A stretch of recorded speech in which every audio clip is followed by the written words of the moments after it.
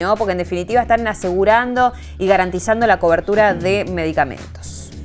Lo confirmaron desde la dirección del PAMI acá en Mendoza. No va a haber cambios.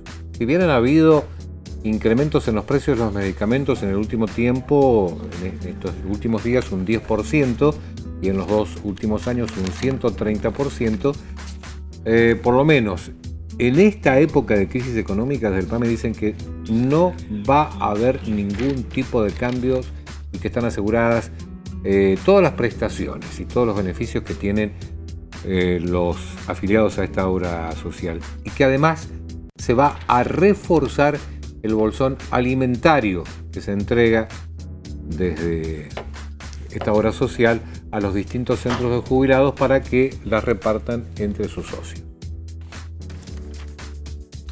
Están eh, conversando, están trabajando sobre la firma de un, eh, un nuevo acuerdo con los laboratorios, renegociando, podríamos decir, porque lógicamente la mayoría, si no es el, el total, el 100% de los medicamentos, tienen materia prima importada y la mayoría de los medicamentos vienen de afuera.